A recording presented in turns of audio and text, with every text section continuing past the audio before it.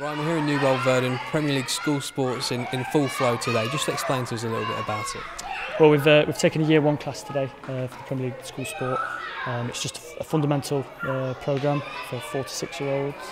Um, it's part of our player pathway that we've got. So uh, after we've got an uh, after school club with uh, seven to eleven year olds, which they can also attend onto satellite centres after that as part of our Leicester City player pathway. The youngsters going absolutely crackers here today. They seem to really enjoy it, and, and fundamentally, I guess that's what sport's all about, isn't it? Oh, definitely, yeah. The um, the kids' reaction to when Marc uh, Marc was in and, and Filbert the Fox was here today, they're just uh, so full of energy, um, and it's a really really good way for them to sort of take part in sport. Uh, this program, it's absolutely fantastic, um, and the, the teachers as well helping out, really really good, ener- energetic, um, really really positive session. Marc Albrighton, we're here with uh, uh, Newbold Verdon Primary School with some four to six year olds enjoying some some sports. How important do you think that is at that age?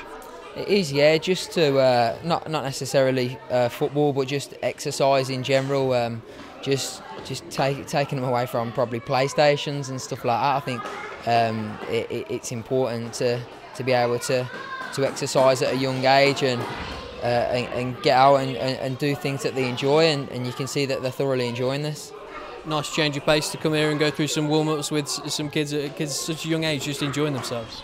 Yeah, it is. Yeah, obviously the uh, the exercises that they're doing are, uh, are good for, for their age, and, and it's developing them as, as children, and um, it, will stand them in, good stead. It's a good foundation to have at that at that age, and it's something that, that, that they can build on year in year out.